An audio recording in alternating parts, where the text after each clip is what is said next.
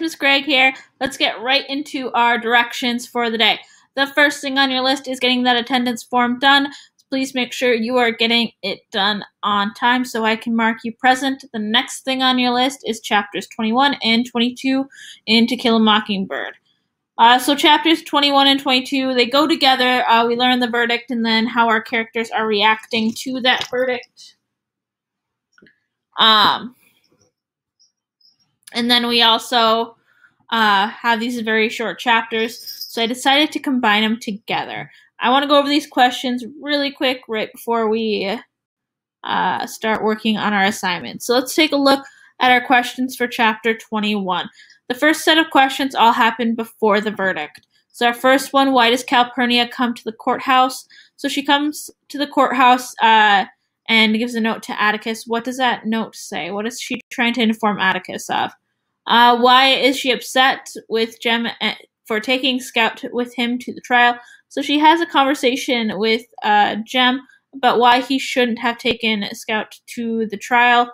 What is that conversation like? What is it about? Our next question: Why do what does Jem think the verdict will be? Why? So he discusses this with uh, Reverend Sykes. So you'll find the answer about uh, the verdict, what he thinks the verdict will be when he's talking to Reverend Sykes. And uh, our last one before the verdict, why does Reverend Sykes disagree with Jem's opinion on the verdict? So he gives a very specific reason about why he disagrees. What is that reason? Our next questions are all about the verdict.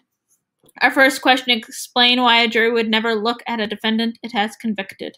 So take your best guess. Why do you think the jury wouldn't look at a defendant it's convicted? So it has found guilty.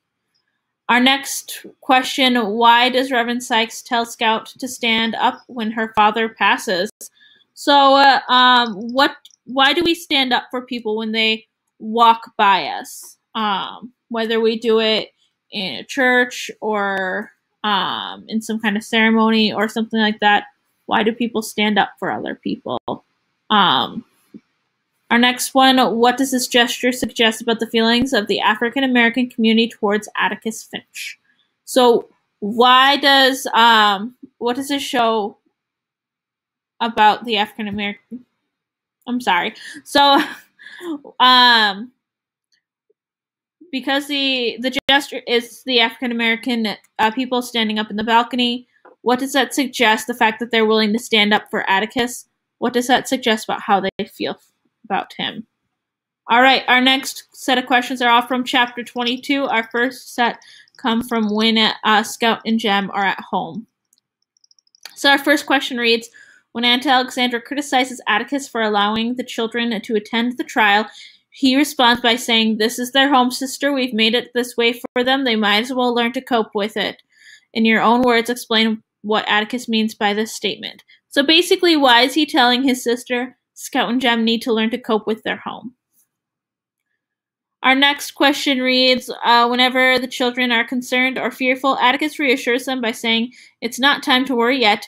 Analyze the statement, what makes it particularly effective and reassuring. So, why are the children comforted by this statement? Why do they find comfort in the statement, It's not time to worry yet?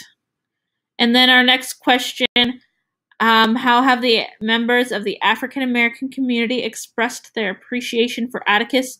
How does their gesture affect him? So they're going to wake up to uh, basically a big present to from the African American community.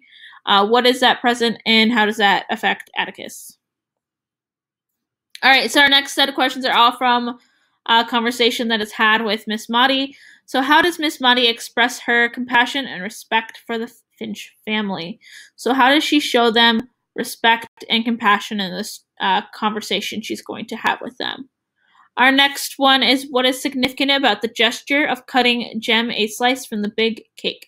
So, if we remember correctly, in previous chapters, when she made cakes, she would make a small one for Jem, a small one for Scout, and a small one for Dill, and then all the adults um, got a piece of the big cake.